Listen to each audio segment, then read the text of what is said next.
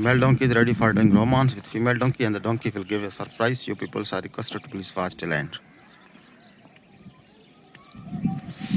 Male donkey is ready for doing romance and they will give a suddenly surprise.